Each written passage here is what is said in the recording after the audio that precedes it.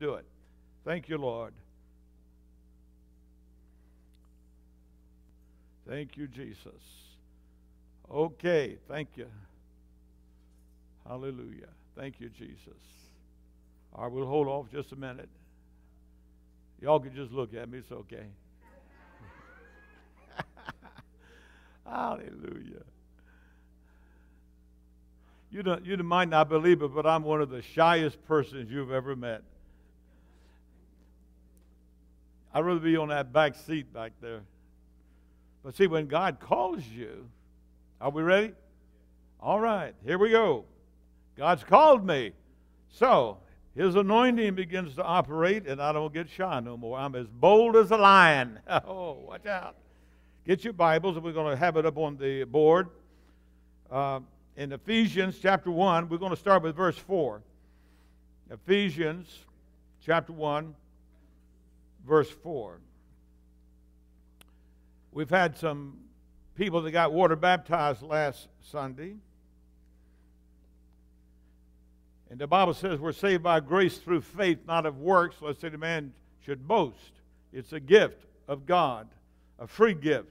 God gives us eternal life when we repent and we believe that Jesus Christ is the Son of God and we confess Him as our Lord and Savior in front of people and we believe in our heart that God raised Him from the dead, the Bible says we're saved and God gives us the free gift of eternal life. And I'm excited about that because there's many, many uh, benefits of being a Christian. You know, when I was in the world, and I, I was in the world for 26 years uh, of my life. I, I was 26 years old before I received Christ as my personal Savior. And I know all, all about the honky tonks. I know about all the drinking and the stuff that goes out in the world. And I did my portion of it. And I'm not complaining. I'm not bragging. I'm just telling you that I know that side of the, of, of the road. But since I've been a Christian, I have a joy in my heart. Well, Brother Bobby, do, since you've become a Christian, do, do you have any more problems? Yeah, but I have the problem solver that lives within me. See, he helps me to solve the problems that I have without tearing up the church, without tearing up my family, without tearing up the society. He's alive and he lives within me and he lives within you if you've given your life to Christ. So we have the, the, the problem solver living in us. And I want you to see the benefits that we have uh, as Christians. Let's read verse 4. Even as in his love he chose us. Who chose us? God chose us. It's up on the board. God chose us. Actually picked us out for himself as his own. Boy, that's powerful. How would you like to have a father that has trillions and trillions upon trillions and trillions upon trillions of dollars. If you're saved, you have a Father that has everything that you will ever need. By the way, we say, you know, I found the Lord. No, you didn't. You were running as hard as you could. You were resisting the Holy Ghost. I was resisting the Holy Ghost. You didn't find him, he found you out. In fact, he chose you before the foundation of the world. Now, boy, to have a father like that, I wasn't even born. You know, if you look at a tombstone, you have, for example, here's mine. Born on this earth in 1933. That's before some of y'all was born. 1933. You have that little dot, and then he passed away in 20, whatever. Now, what happens between those two dates is our little life down here. You could hardly see it on the tombstone. But that little dot in between those two, time you were born and the time you pass from this life, is your span of life. It's but a vapor. James says, Our life is but a vapor. Now, if you're a good mathematic man and you're a man or a woman of wisdom, it seems to me that it's worth giving your life to the Lord in that little bitsy time, you can hardly see it between the two dates, give your that little life to the Lord for all eternity in a glorified body, living with God in His presence throughout eternity, never will have to experience death again, never will have to experience suffering, pain, never have to worry about paying the bills. Everything is taken care of. You live in a glorified body, not just in a little space like that, but throughout eternities, eternities of eternities, you will live a life in a glorified body. And all of God's people said, That's powerful. Now you need to think that through. Well, I'm not willing to give up my drinking and, and dipping snuff, chewing tobacco, and picking my nose. Well, you know, Bless your little heart. If that's the decision you're going to make, if you want to hold on to that little bit of time between the day you were born and the day you're going to pass, because you're going to pass from this life. Right by some of these uh, cemeteries. That little teeny bit of life that they had between those two dates, long gone. My grandpapa, long gone. But you know, he's long gone as far as this old world is concerned. But he has eternity upon eternities to live in the presence of God. Now, brother, what a deal that is. Well, I'm going to hold on to my little dot down here because I can't give up them drugs. I get nylon. I mean, I, I see all these lights when I'm on drugs. Honey, child, let me tell you something. The lights that you'll see in heaven in your glorified body, those little lights you see under the drugs and nothing is garbage. When you see the presence and the glory of God in heaven, and you say, Thank goodness I gave up that little dot for all of this glory that I have to enjoy throughout eternity. Does that make sense to you? Somebody say amen. Anybody, one person. Oh, Come on, let's see the picture. Now listen, God chose you before the foundation of the world. Yes, He chose you. You, you. Now we have to respond. Aren't you glad you responded to the message? Aren't you, aren't you glad? Can you imagine being in a theater? Somebody might come in here shoot us all. Now, Bob, don't give nobody fear. I'm, not, I'm just telling you facts. Hello, are you out there? Now, I told, you know, Mike knows. He's got a big shotgun back there. You, you got that shotgun back there? If anybody comes in here with a gun, shoot him. You're in the theater. How many, how many seen the news about these people going to this midnight movie? How many seen them? Let's see your news. Let's see. Okay, I just want to you think those people went in there thought that they were going to be in eternity? That they were going to give up that little dot? now, the question is not that they got shot. The question I want to ask is are they ready to meet God? Hello? Are they ready for eternity? Have they been born again? Or are they just down here enjoying the little bit of life that they had between the two dates, the date they were born and the date they passed on this life. Well, maybe we'll just get rid of all the guns and that'll solve the problem. No, it won't. The problem is in the heart. I said the problem is in the heart.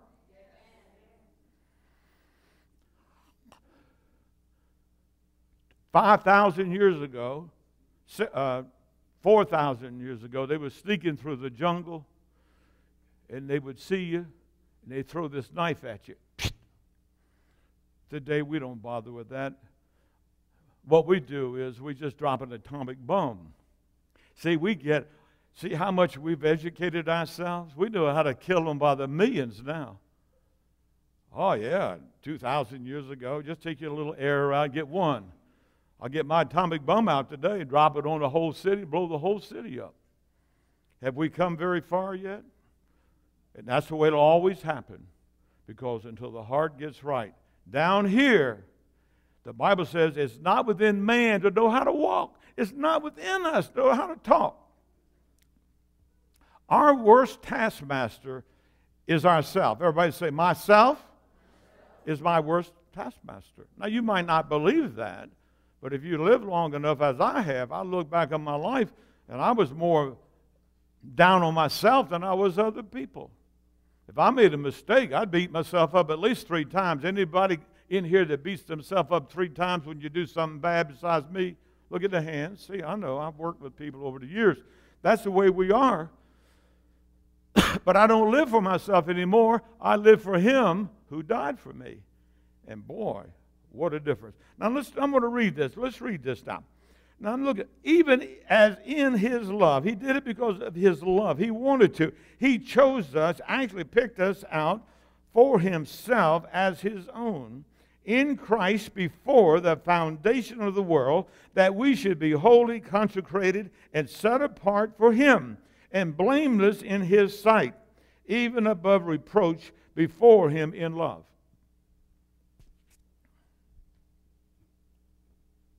I remember years ago, my aunt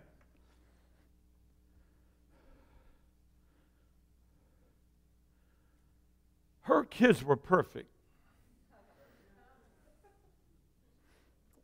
You can laugh. How many of you think your kid's perfect? One. Well, give it a little time.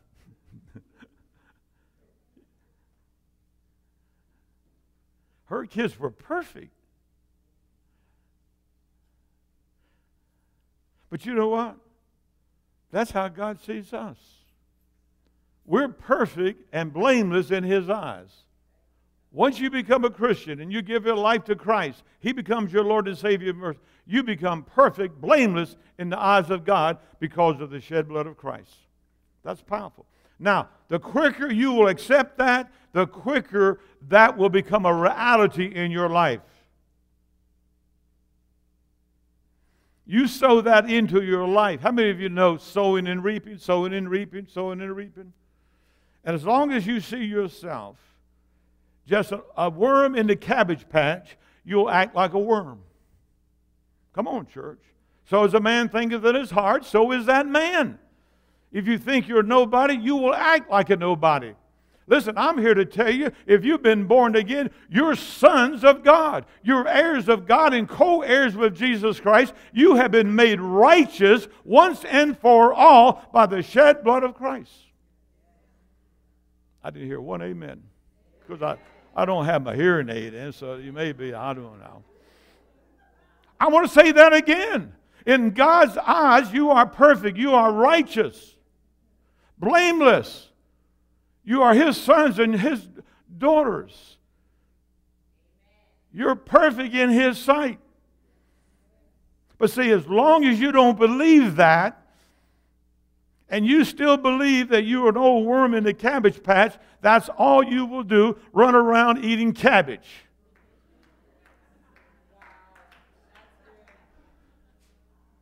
But once you understand and, and, and take God's verdict, that you've been made righteous in His sight, blameless in His sight, you get that seed inside of you, that seed will bear fruit like you've never seen before. You'll be surprised. Absolutely. You will be surprised of a lot of that old self life that will fall off of you, and you won't even have to do a whole lot of reckoning because you've taken in and you believe what you are now, right now in Christ. You are perfect.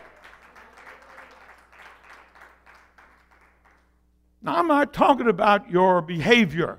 That's another subject. That's where the reckoning comes in. But we're talking about your position in Christ. You've been raised to sit with Christ right now in heavenly places. You think you're seated, seated here. You're not seated here. In God's eyes, you're seated with Christ in heaven. That's your place of authority. Until you can see that, you'll be crawling down here like a worm eating cabbage and maybe sometimes broccoli. You have to see yourself as God sees you right now. Now that I've struggled with that. You're looking at a man that has struggled through everything that there can be in the Bible. Every promise of God I've struggled through. I have wrestled with God. I'm like Jacob. But when you wrestle with God, He'll change your name to Christian. He changed Jacob's name to Israel. Is the air conditioner on? Not complaining, just asking. All right, let's read a little bit more. Verse 5 up there on the board. For he foreordained us, destined us, planned in love for us to be adopted, revealed as his own children through Jesus Christ, in accordance with the purpose of his will. Because we were so good he just had to do it. Oh, hallelujah. It's up on the board. Hmm. In accordance with the purpose of his will, because it pleased him and was his con intent. Everybody say, God is righteous. God is good. Aren't you glad? Can we fathom his love? Now, let me bring this down to, to your level of understanding. How many have kids in here? How many wish you didn't have any kids in here?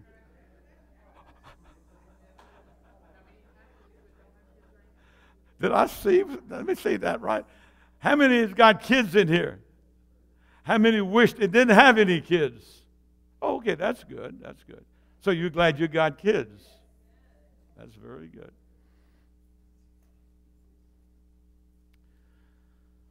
In the natural, you have kids through the natural birth. And let's say you adopt one child into your family. That one child that you adopt into your family is, is just as equal, as far as the law is concerned, in your family. Let's say you have two kids by the natural birth and you have one through adoption. That one that's been adopted will get the same inheritance that those other two natural kids that you had through natural birth. He will get the equal amount of, of inheritance. That's the way the law looks at it. If I'm wrong, let me know. That's powerful thought. We've been adopted. That's why we're heirs of God and co heir with Jesus Christ. What does that mean, Bob? That means that everything that God has is His children's. It belongs to you and me. And you don't have to work for it. That's powerful thought. Co heirs with Jesus Christ. We are seated with Christ right now, as far as God's concerned, in heavenly places. You see, God counts those things that be not, somebody help me, as though it were. It appears that we're not victorious, but we are victorious. We're more than conquerors. I didn't say you were a conqueror. I said you were more than a conqueror. More than a conqueror. See, unless that gets down into your spirits, it's just words. But when it gets down in your spirit, man, you ever seen an 80 year old man do a little skip? I could do better without these shoes. But I'm a. Not bad, you know. Heirs of God and co heirs with Jesus Christ. Man, that's. God so loved me that he gave his only begotten Son. What does that mean to you? I want to birth it into you. I want to birth it into you. Oh, I wish I could. Only the Spirit of God can do it. You're not just somebody floating around down here. God has a purpose for his children. How many in here have small children and you have a purpose for your children? Hmm? Come on, let's identify with God a little bit. How many really loves their children in here? How many would like to send them to the moon sometimes? Yeah. All right, that's because you're natural.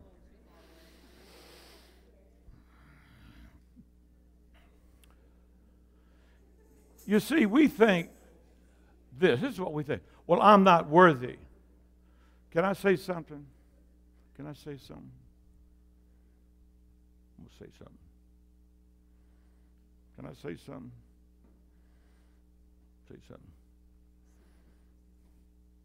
Something. Oh, you want to you want to talk? Yeah, okay. Don't hurt the old man. Okay. How can God love me? Now, I can see He can love you guys. But how can He love me? Has anybody ever thought that? Come on. Get over it. It ain't about you. It's about His loving kindness. It's about He chose His purpose from before the foundation of the world. He chose you to be His child. Listen, let me tell you something. When you go into ministry, you don't look for qualified people. God qualifies his people. Are you listening? Someone said, Well, I'm not qualified. Yeah, I know. But he will qualify you because he's the qualifier. Yes, we were once lost. We were once in sin. Sin was our master. It dominated us, it controlled us. And we know that sin came into the world through one man. And it was passed down through all of us. And we passed it on to our kids. The DNA, boom, boom, boom, boom, boom, all the way from Adam to Brother Bob. My spirit was dead. That's why I had to be born again. Now, before I was saved, God was somebody in heaven. He's somebody that created the world, but I had no personal relationship with him. I believe he existed like the devils. They believe that God exists. And I can't explain it. I wish I could. All I know is this I had it up in my brain and it fell from there to my heart. The preacher wasn't even preaching, he was up there giving, uh, giving announcements. I rose out of the chair, walked down there, stood before him. Why did I do that? I'm a bashful critter. You tell me to stand, I hold on to my chair. Rip it right off the floor. Are you listening? What caused me? What caused me to get out of the chair, go down there? Not even an invitation. He hadn't even preached a message. What moved on me? God chose me before the foundation of the world. The Holy Spirit got in my heart, began to work in my heart. Get out of my way. I'm coming down, but it's not the invitation time. I'm sorry about your whatever, your whatever. It's time for Bob Tilton to give his heart to the Lord. I don't care who sees me. I don't care what you think. I I can't say I found the Lord, but I certainly responded to the Lord and walked down that aisle, and from that point on, I was different inside. Was I perfect in all my actions? No! Talk to Susan. But I had a heartbeat inside after God. And I've walked with him for 54 years, and I love him with all my heart, so mind and change. He changed me. I could not change myself. That's why I don't try to change you. If I try to change anybody, it change me. But you can't change yourself. That's why you've got to trust the Lord and say, God, change me from glory to glory. Second Corinthians chapter 3 tells us that we are being changed from glory to glory from the inside out.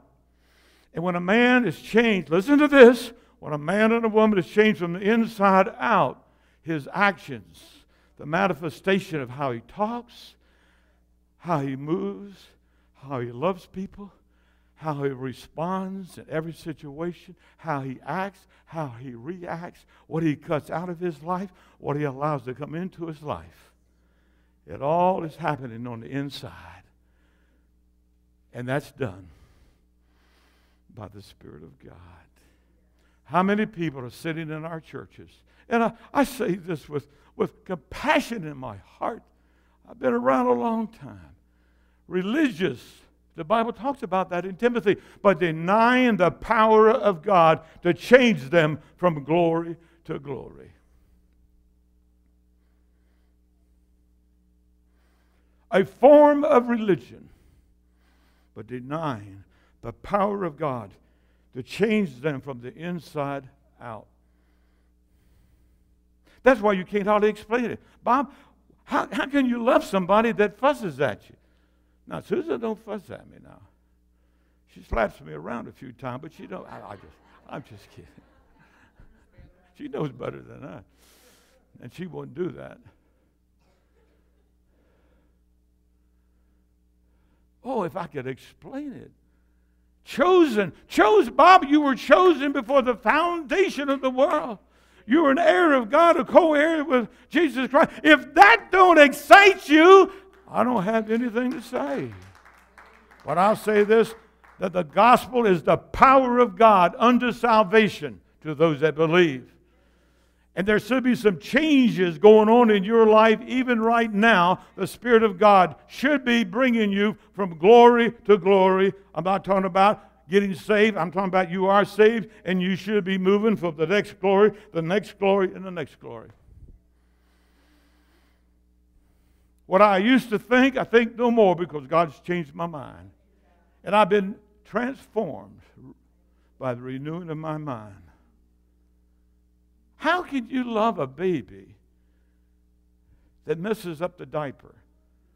You know, I, back in, in my earlier days, I'm going to try to be calm here, you know, dignified a little bit. See, I'm a farmer at heart. I only have a certain amount of terminology I can share my thoughts, so you'll have to bear with me. I didn't go to, uh, anyway, we won't go through that. How can you love a little child? You just change his diaper, you pattern it up, it smells like a rose. And it's, it's all cleaned up, you gave it a bath, and you're so proud of it, and you pick the child up in your arms and you hug the child, and the child goes, Huh? Susan! Susan was always so kind and so gentle. Take the child. How many's ever done that, huh? Yeah, yeah, yeah, some of you have. Some of you never changed a diaper in your life. See, back in our days, we had the type of diapers you don't, you don't, you didn't buy them. You bought, it's a big sheet. Ever seen those big sheets, you know?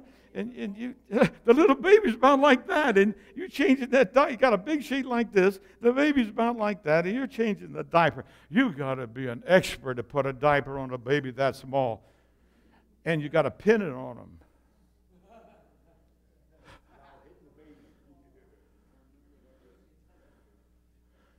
Sue said, I'll take care of it.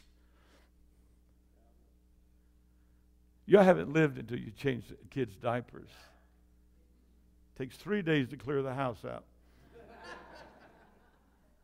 then you find out if you really got love in your heart for your kid. But how many of you know you don't throw the baby away? You don't condemn the child. You work with the child. And see, that's how God. How many of you have messed up your diapers so many times? Hmm? How many has ever messed up their diet? Come on. Don't lie to grandpa. I'm sure you have. Then you say, God, how can you love me? Because you see, God is love. He said, okay, let's go over this again. Now, I don't want you to learn the hard way. I want you to learn by just obeying my word, and things will go better with you. How many's learned that? Hmm? How many's still learning the hard way? I don't want to look. Okay, that's that's all you're learning. That's the main thing. It's the hard way, it's okay. But I am learning, and it's so much better. God loves you not because you're so pretty, not because of the color of your skin, not because of how much money you've got, not because of the great education you got. He loves you for yourself.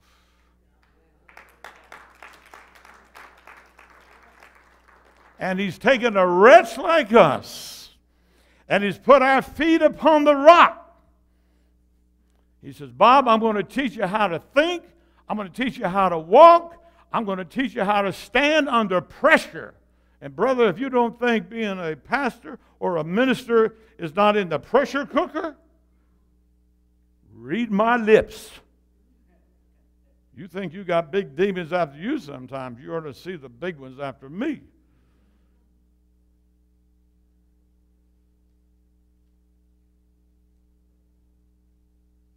I've learned when they get after me, Susan. How many of you two is better than one?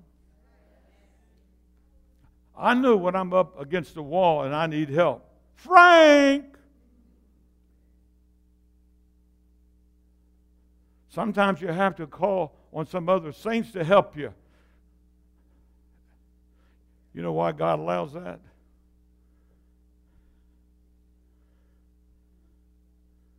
It's a humbling experience to have your wife prayed for you. How many men in here, Lord, help me to stay out of trouble? No, get in trouble. Okay. How many men in here has ever had your wife to pray for you? One, two, three, four. You must be tough folk.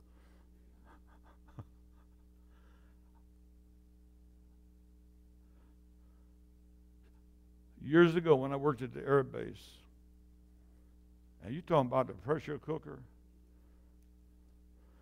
See, Don, Don's a, a colonel in, in the Air Force. He was always on my back. Well, it looked just like him. They were colonels. This airplane, Mr. Tilton, will fly. And it will fly at the proper time. Yes, sir. And then you got some rebellious people working for you that they don't want you to tell them what to do. Is anybody anybody like that in here? tell it like it is, Bob. I will. I will. That's the only way we're going to grow. You ain't going to tell me what to do. I know everything. You do? Well, God will take care of that. One day you find out you won't know nothing. And that's when you come to realize He knows everything. I rely on Him now. He's my source, my strength. Yes, you're a child of God. God's called you. Listen, we're not up there yet. We're still down here. And Jesus said, In the world you will have tribulations, you will have problems. But he says, Cheer up. I have overcome the world. This last two weeks, it's like one thing after another with Susan and me. We get one thing settled, and there's another thing. Yeah, you know, we had we went to the doctor and had all these beauty marks burned off of us. Or was it beauty marks? It was ugly marks. How many know what I'm talking about? You, know, you get old, your skin sort of don't want to cooperate with you as much. You think I look better this morning? You haven't noticed, have you? You don't understand that? Anyway, he burned them all. I had all these marks and scabs on my face. Susan had all on her. But we kept coming. We came to church. How many noticed it? Love covers a multitude of sin. he just covered it. I'm just saying that everything is not. But here's what I want you to see God has chosen us, He's caused us to be born again by His Spirit. We are His children, we have eternity. Don't get caught up with that little space of time between the two dates. Bob Tilton, born 1933, March the 11th, 1933. I remember the day very well. It was a windy day. That's what my dad said. That's why I know it. He told me about it. He was in the Marine Corps. I was born in the Navy Hospital in Washington, D.C. A little boy. They say I was beautiful. Who questions? Who, who, que- who questions that? I've never seen an ugly baby. Have you? I mean, every baby is beautiful, precious. I, I had to be pretty. Now, you might question it now, but not back then. But I want you to see something. You're only down here. In fact, the Bible says that we're just pilgrims passing through this life. I mean, I look back on my almost 80 years now. I can't believe it. I looked in the mirror one day. I said, Susan, come here quick. What is it, darling? What is it? Who's that in the mirror? That's you. That's you. What happened, hon? Honey? That little space right there, you're at the end of the trail, son. but listen, when you're at the end of that little space, you are at the beginning of eternities after eternities after eternities after eternities in a glorified body, living for God. No hunger, no Sears Roebuck payments, no more car breakdowns. We got eternity to live for God. We can think and be where we want to be, whatever we think. I think I'll go to the beach. You're at the beach. I think I'll be in the mountains. I'm in the mountains. I think I'll go to California. I'm in California. You'll travel just like that.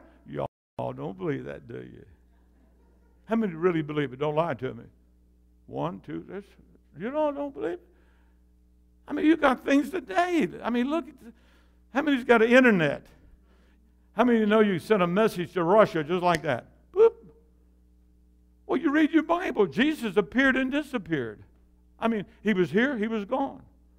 He ate in his resurrected body. To buy. Okay, I got to get the Bible out. Turn to Philippians.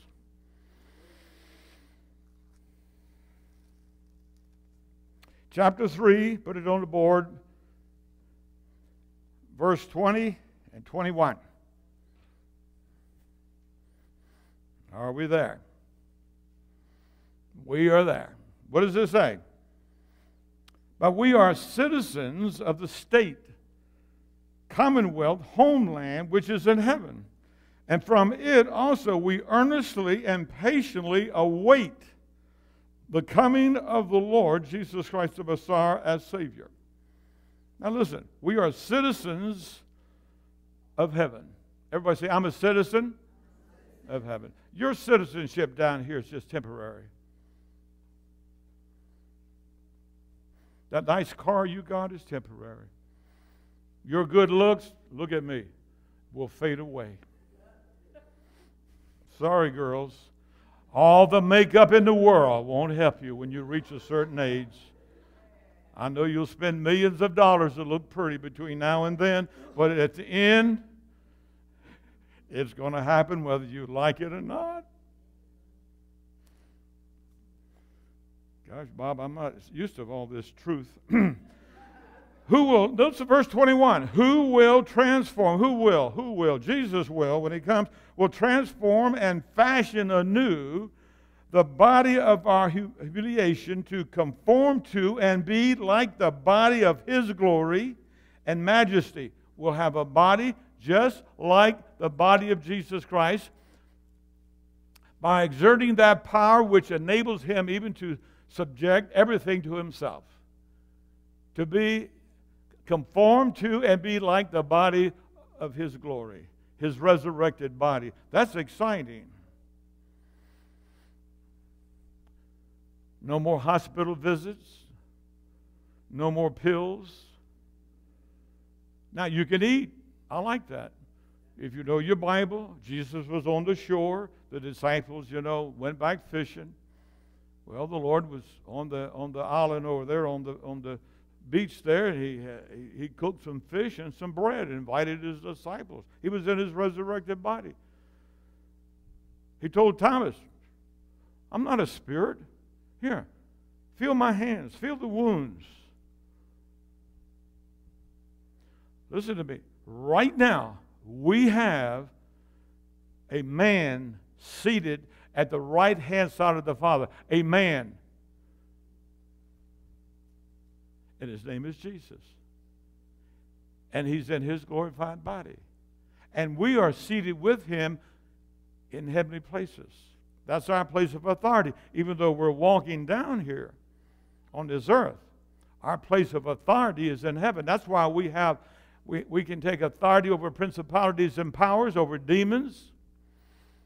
We can exercise authority because our power comes from that place in heaven where we're seated with Christ in heavenly places. We've been raised to sit with Him. Now you've got to accept that by faith. See yourself seated there with Christ. That's your place of authority. You don't let sin or, or, or demons or anything run shotgun over you. No, you are reigning in this life through Christ Jesus our Lord. You are, I am, we are to reign in this life right now. But one day he's going to take us off this planet. But now I got news for you. One day he's going, we're going to bring back, he's going to bring us back on this planet. And for 1,000 years, we'll be living on this planet with Jesus Christ. And the Jewish nation will be the capital of all the other nations. And Christ will be right there, ruling and reigning from Jerusalem. That's why the devil's trying to blow all that up to make God's prophecy look like it ain't true. But he's been trying to do that from the beginning of time. Let's read that again. Who will transform and fashion anew the body of our humiliation to conform to and be like the body of his glory and majesty. Powerful. We have so much to look forward to. You might have a little problem. You know,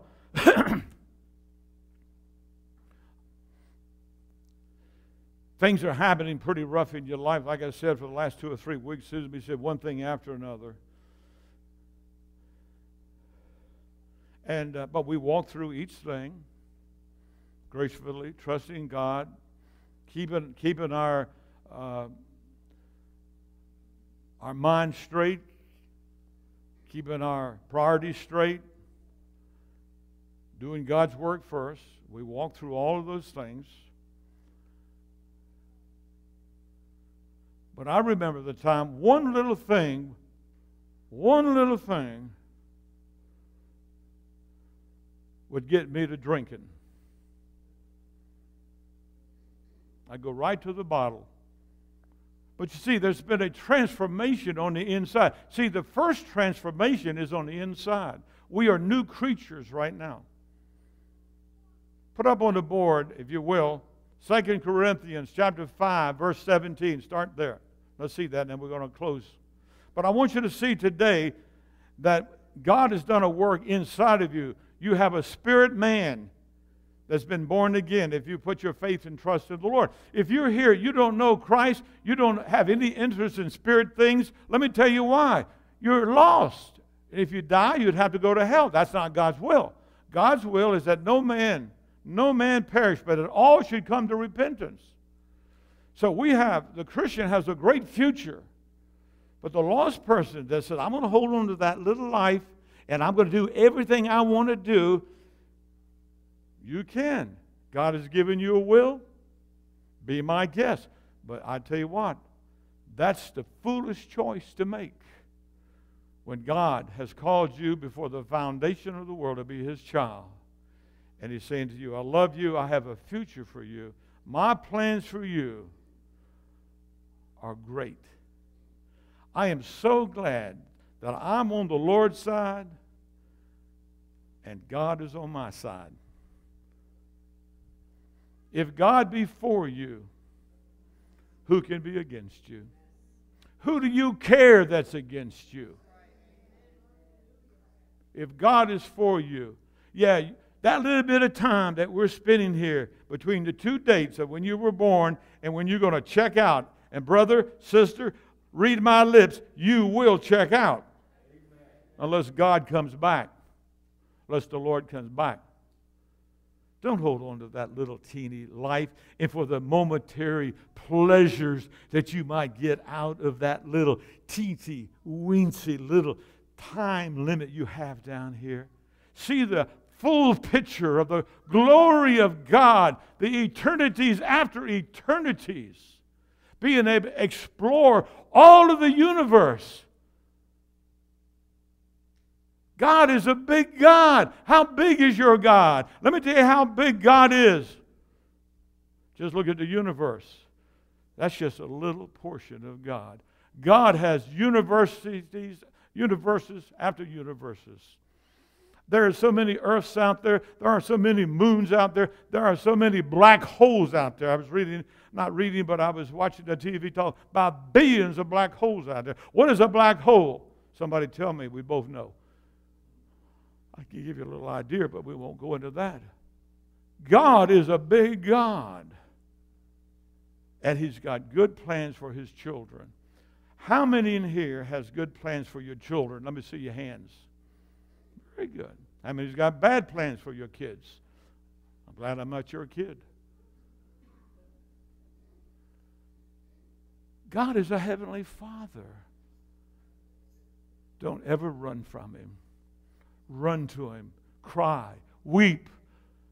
Cry unto the Lord, for His ears are attentive to the cries of His children. We have a great future. And don't let people suck you, suck you in. We were reading Proverbs this morning. Read Proverbs. I hope you will. Let's rob the bank. We'll have a lot of money. Go talk to the million and some people in jail. Millions of people could be enjoying life and they're in jail. And I hear there's not a whole lot of air conditioning in those jails. 24 7 in jail. See, God's given you a will. That's why the Bible says, Choose you this day whom you will serve. God will not force you. You must choose. Thank God I chose 54 years ago, and I have never regretted. I didn't even count the fellowshipping that we have with God. Every day I fellowship with God, and I'm sure that many of you do too. Fellowship through His Word. His Word is more alive to me than ever before. I am overwhelmed with the blessings of God. Just knowing God, just His presence in my life. Oh, I thank God for my golf cart. I thank God for my car, 1995 Mercury. I got to get some new tires on it this week. Have you noticed everything wears out down here? You will wear out too. Your bodies will wear out. But God's got a brand new Cadillac for you. Up to date technology. Let's see. Let's see. Let's go to, it's sort of hot. Let's go to Alaska. You're at Alaska. See, some of you don't believe that. See, there's, you've got to understand in the spiritual realm, there's different laws in the spiritual realm. Can you understand that? Different laws in the spiritual realm. I'm going to ask you a question. Let's just cut the gravity off of you right now. Tell me where you'd go. We'd be stuck to the ceiling. If you were outside, you.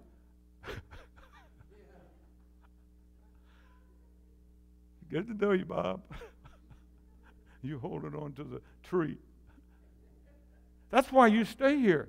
When gravity has no more power over you, in the resurrected body. Powerful. No more sickness. I love that. No more brushing your teeth every day. I won't have any glasses. I'll have hair on my head. That's going to be exciting. Jonathan, you think I'd look good with hair on my head? Hmm? Huh? I see some of you getting stiff on me.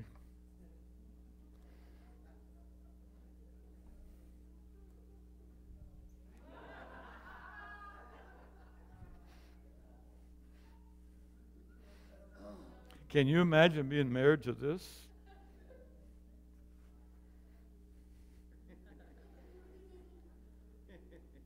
When you leave here, I want you to be lighthearted.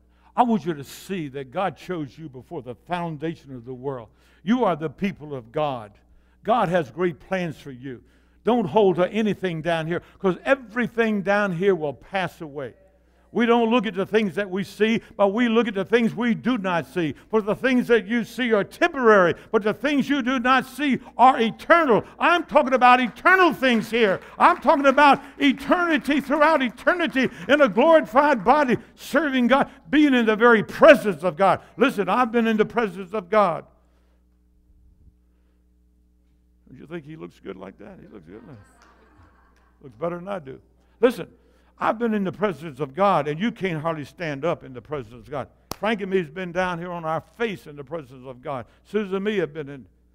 Some of you have. Can you imagine? We have to have a glorified body to come into the full power of His glory. It's hard for us to conceive about His glory beaming out of Him, just beaming out of God. Power, the presence of God. Whew. And we will be in His presence throughout eternity. Don't hold on to that little spot between the day you were born and the day you're going to check out. Because, brother, you're going to check out, and you don't have to be 80 years old to check out today. You might be in a theater,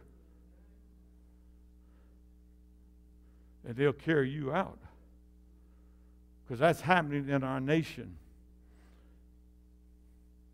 So, what is the solution? Don't play the fool's part. Give your heart to Christ while you can. Don't fall asleep. Wake up! There's eternity out there. And you can think otherwise you want to, but one day, the Bible says, is appointed unto man once to die, and then the judgment. You're going to die, and we're going to put it on the graveside. Born 1933, a little speck. You can hardly see it. That was his life beginning to end, and passed away in the year 20. Anybody want to give me a date? I'm, I'm ready. I'm ready. I'm ready right now. But Susan said, Oh, please don't leave me, honey. Okay, we'll stay around a while longer. But seriously, are you ready? If he'd come right now, you know what? We are to look for his coming, for his appearance. He says, I'm coming again for those who are looking for my appearance. Wow! Well, I ain't been looking. You better start looking. And I'll be preaching on the end times pretty soon because we can see it mounting up. We can see it mounting up. Well, uh, Bob, I don't believe all that kind of stuff. Well, I don't care what you believe. I'm going to teach you the Bible. It's up to you to believe it or disbelieve it. Be my guest. I'm charged to preach the gospel, the full gospel. But it doesn't matter. Good times or bad times, I'm ready. Good times and bad times, you're ready. Good time, bad time, you're ready. Isn't it wonderful to know your boys are ready? My kids went to the movie. I got a telephone call.